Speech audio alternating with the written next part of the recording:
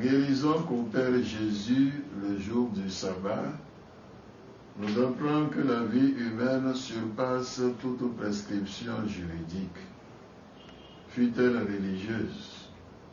Le sabbat est fait pour l'homme et non l'homme pour le sabbat.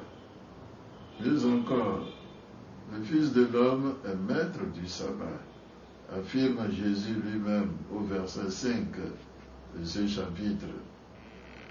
En toute chose, l'homme doit considérer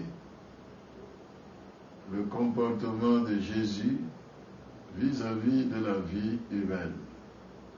Tout faire pour favoriser la vie et ne rien faire pour l'anéantir. Bonne méditation.